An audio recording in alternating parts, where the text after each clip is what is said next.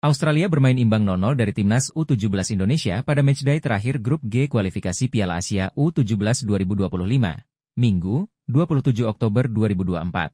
Meski disebut kontroversi, Australia enggan disebut main sabun dengan timnas U17 Indonesia.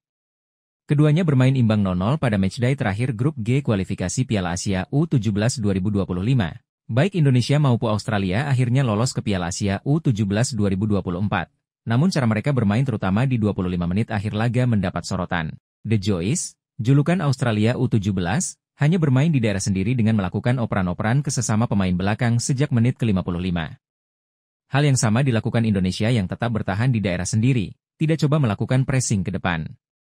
Dalam rilisnya, Australia mengakui hanya mencoba tak terpeleset di laga krusial lawan Indonesia. Kedua tim berproses ke penentuan juara grup G dengan performa yang bagus, Ditulis website resmi Timnas Australia, sochros.com. Dengan Australia memiliki selisih gol J21, Indonesia O11, tetapi dengan hanya lima runner-up terbaik dari 10 grup yang lolos, menghindari terpeleset di sini, lawan Indonesia, adalah krusial.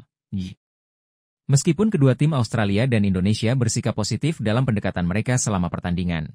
Pada akhirnya laga berakhir tanpa gol, dan Australia menyelesaikan pertandingan dengan juara grup G, mengoleksi 7 poin dan selisih gol lebih unggul, ditambahnya.